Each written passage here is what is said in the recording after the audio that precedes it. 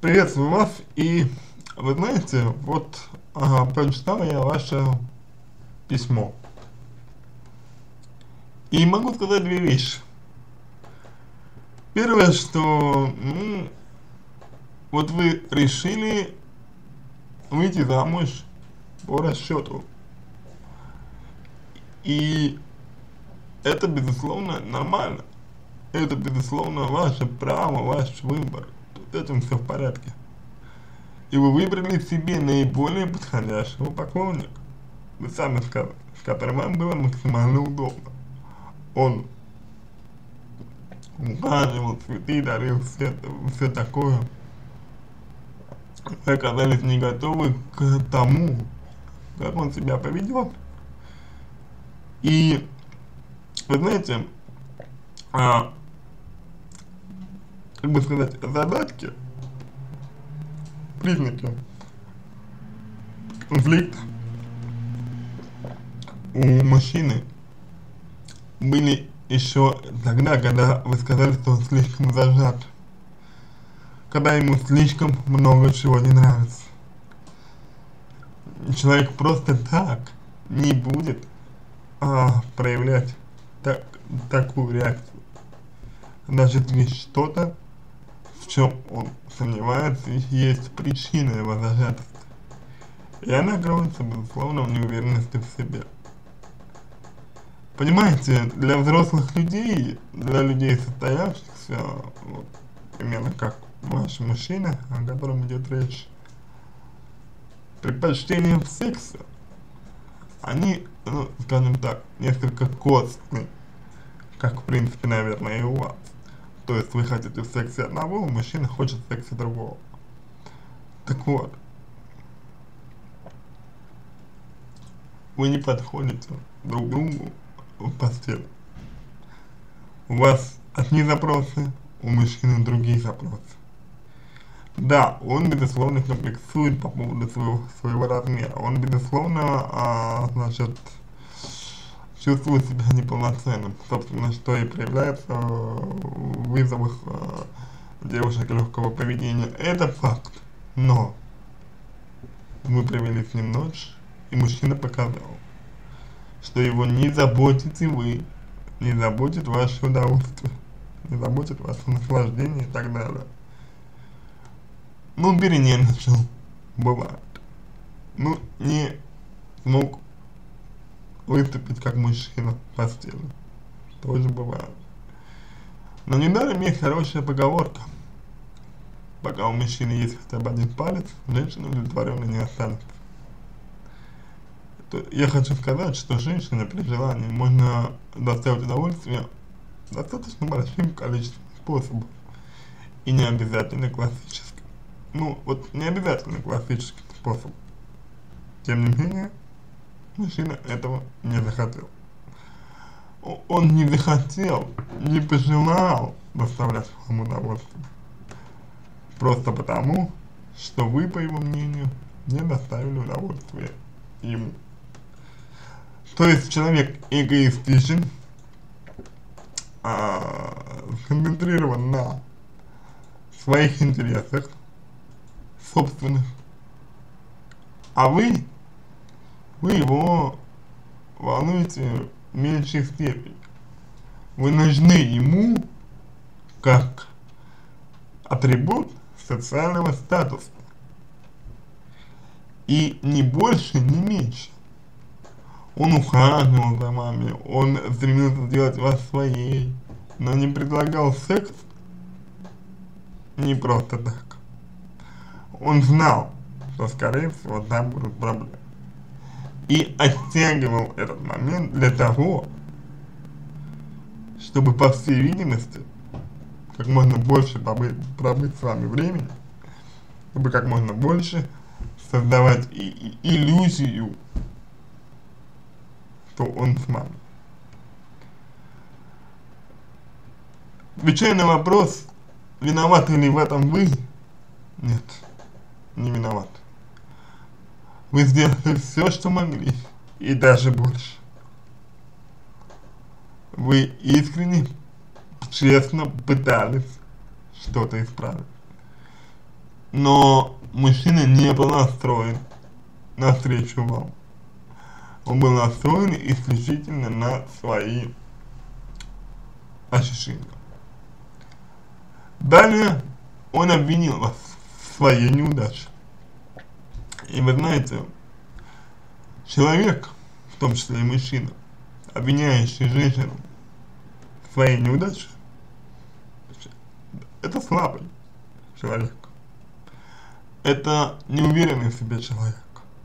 По сути, это скрытый тиран. И говорить о том, подходит вам ли он или нет, я бы избегал открытым текстом, потому что все-таки вам решать. Но объективно слишком много различий по ключевым моментам. Как вы сказали, вы любите секс. Как вы сказали, вы любите секс групп. Как вы сказали, вам нужно его достаточно много. Мужчина этого вам дать не может. И это можно было э, принять, если бы была какая-то компенсация. То есть, допустим, не можешь реализоваться в сексе, реализуется в чем-то другом. Что, в общем, логично. Но мужчина не стремится к этому. Он не стремится реализовываться как мужчина с вами в чем-то другом, кроме э, в чем-то другом еще. И вы, наверное, все больше и больше задаете себе вопрос. А вот зачем я с ним? Ради чего я с ним? Ради того, что вы хотите замуж. Вопрос. Будете ли вы счастливее в браке с таким человеком? Вот лично мне кажется, что не будете. И вы знаете, эм, как по вашему письму получается, что вы достаточно самоуверенная женщина, четко знающая, чего вы хотите и так далее. И вот, а, знаете, может быть вы, мужчину, воспринимали исключительно как средство. Не были готовы к тому, что а, у него есть куча минусов. Ведь когда человека любишь, ты минусы принимаешь. А вы его не очень-то любили. У вас не было вот такого вот ощущения влюбленности вы рассматривали его как хорошего партнера, как кандидата в, э, мужья, это да. Но чувства, искреннего чувства, сильного чувства любви у вас не было. А это значит, что отношения в, вашем случае принимают взаимовыгодный э, облик, взаимовыгодную форму. И так получилось, что взаимовыгоды как раз таки нет вы по сути получаете э, э, рядом с этим мужчиной слишком мало. Вы получаете каких-то ухаживаний, которые скорее всего закончатся после того, как вы станете относительно стабильно встречаться или поженитесь. Вы получаете негатив в свой адрес, если у мужчин неудача, то есть отсутствие критического мышления у мужчины. А это не есть хорошо, потому что с отсутствием критического мышления у мужчины вам будет очень тяжело с ним. И вы получаете отсутствие нормального секса а, для себя. Поэтому вашей вины в данном ситуации нет абсолютно никакой. А, целиком и полностью ответственность лежит за, на мужчине за то, что произошло. Потому что ладно бы, если вы были неопытны, да, можно понять, вы неопытный мужчина, перенервничал, бывает. Но вы опытны, знаете толк в удовлетворении мужчины, если он все равно, зная это, а он не мог этого не почувствовать, а зная это, он все равно вас обвинял, ну, тут как бы все понятно. Человек завязан зациклен на себе, на своих комплексах, на своих недостатках. И он будет всячески стараться вас принизить в дальнейшем, всячески стараться вас подчинить, а, значит, э, принизить, чтобы э, казаться лучше вас э, для самоутверждения.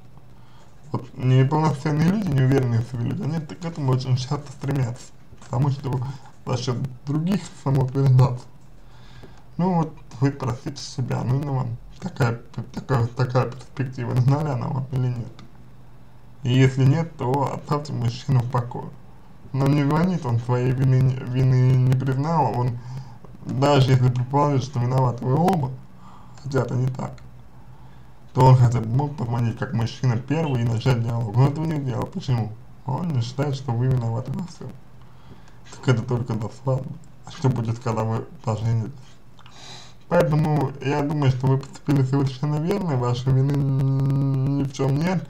А мужчина знающий, мужчина уверенный в себе, мужчина понимающий толк в сексе и стремящийся женщину удовлетворить, возведет вас а, к вершинам удовольствия, совершенно спокойно, вам даже делать ничего не придется на самом деле. А, а просто у вас вот такой вот неудачный опыт произошел, так бывает. Не нужно думать, что в этом виноваты, виноваты вы а, у вас есть четкие желания. Если мужчина ваших желаний не, слы не слышит, если мужчина ваши желания не стремится удовлетворить, то маленькая вероятность того, что-то получится а, из такого союза. Что же касается вашего дальнейшего намерения а, выйти замуж, то здесь и, и лично, ну, от меня рекомендация будет такая – вот если вы хотите, допустим, если вы нагулялись и хотите сменить свой социальный статус, то есть хотите семью, хотите стать женой и так далее, ну, как минимум, мужчина вас должен во всем удовлетворять. И в первую очередь, это то, что для вас наиболее важно. То есть вы сами для себя определите, какие сферы для вас важны в первую очередь, которые вам необходимы, и чем вы могли бы пожертвовать ради, э, ну, ради союза. И вот исходя из этой схемы, из этого плана, и принимает выбор относительно того, с кем вы захотели бы связать свою жизнь. А, соответственно, если вам не хочется больше так вот попадать а, в такие, такие ситуации, то а, можно порекомендовать вам в большей степени перестать преследовать именно цель выйти замуж, а общаться с мужчинами так, чтобы влюбиться в кого-нибудь, чтобы он влюбился в вас, чтобы все произошло по зову чувства э, искренно и э, основывать на уважении и желании делать человека счастливым. И тогда у вас обязательно все получится когда вы сможете а, полностью реализоваться как женщина. На этом все. Надеюсь, что помог вам. Если какие-то вопросы остались, обращайтесь в личку, помогу. Если вам мой ответ понравился, сделайте его лучшим, пожалуйста. Буду вам очень благодарен. Пока желаю вам всего доброго и удачи.